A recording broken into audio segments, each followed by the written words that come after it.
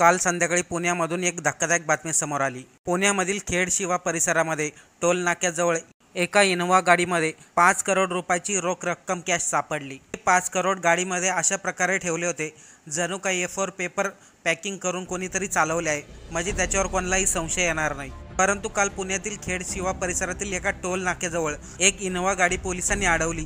त्यामध्ये चक्क पाच करोड रुपयाची कॅश रोकड रक्कम सांगितलं जाते पन्नास पन्नास लाखांचे बॉक्स तयार करण्यात आले होते. सध्या राज्यामध्ये निवडणुकीचं वारं वाहत असताना आणि आचारसंहिता चालू असताना एवढी मोठी रक्कम अचानक सापडल्यामुळे राज्यामध्ये खळबळ उडाली. या घटनेनंतर मात्र सर्वसाधारण जनतेमध्ये एकच प्रश्न उठायला लागला. राज्यात निवडणुकीचे वारे वाहते आचारसंहिता चालू आहे. मग इनोव्हा गाडीमधून पाच करोड रुपयाची रोकड रक्कम कुठं चालवली होती? मीडियाला या घटनेची माहिती मिळताच मीडिया घटनास्थळी दाखल झाली. पोलिसांनी तोपर्यंत गाडीवरती कारवाई केली होती. गाडीमधील सर्व रक्कम काढून घेतली आणि पोलिसांच्या स्कॉर्पिओ गाडीमध्ये ठेवली. त्यावेळेस मीडियाने पोलिसांना प्रश्न विचारला हे पाच करोड रुपये नेमकं कुठं चाललेत? कोणी पाठवलेत? कोणासाठी पाठवलेत? असे प्रश्न विचारले. परंतु पोलिसांनी मात्र एकाही प्रश्नाचं उत्तर दिलं नाही. ज्या इनोवा गाडीमध्ये काल पाच करोड रुपये सापडले ती पंढरपूरच्या सांगोल्यामधील अमोल नलावडे या व्यक्तीच्या नावावरती गाडी आहे. आता हे अमोल नलावडे काय झाडी काय डोंगर असे फेमस झालेले आमदार शहाजी बापू पाटील यांचे कट्टर कार्यकर्ता असल्याचं सांगितलं जातंय. जेव्हा पोलिसांनी इनोव्हा गाडी पकडली तेव्हा नलावडे यांना विचारण्यात आलं तुमच्या गाडीमध्ये काल पाच करोड रुपयाची रोकड सापडली.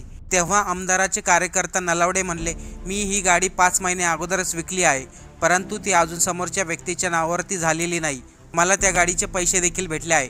त्यामुळे माझा आणि या गाडीचा काही संबंध नाही. परंतु या सर्व घटनेवरती पोलिसांना निवडणूक आयोगाला आणि आयकर विभागाला मीडियाने प्रश्न विचारले.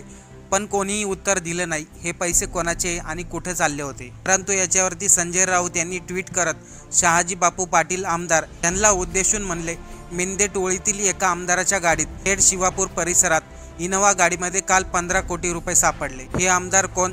काय झाडी काय डोंगर मेंदे यांनी प्रत्येक उमेदवारास पंच्याहत्तर कोटी रुपये दिलेत. पंधरा कोटीचा हा पहिला हप्ता. काय बापू किती खोके. अशा प्रकारे संजय राऊत यांनी केंद्रीय निवडणूक आयोग आणि अमित शहाला टॅग केलं. तर या ठिकाणी राऊतांनी पाच कोटी ऐवजी पंधरा कोटी जरी म्हटलं तरी त्यात तथ्य दिसून येत आहे. अशा प्रकारची गोष्ट सध्या एकच जागेवर उघडीच झाली आहे. त्या कित्येक जागेवर अशा गोष्टी चालू असतील असे राऊत म्हणाले. लोकशाहीसाठी हे अत्यंत घातक आहे. आचारसंहिता चालू असताना पाच कोटी रोकड कोणी कोणाकडे पाठवू शकत नाही. या मोठा मोठा डाव आहे आणि हे लोकशाहीसाठी अत्यंत घातक आहे. जर हे असं चालत राहिलं येणाऱ्या काही दिवसामध्ये लोकशाही पूर्णपणे संपणार आहे. मित्रांनो या घटनेवर काय वाटतं? हे पाच कोटी नेमकं कोणाचे असतील? कमेंट करून नक्की सांगा.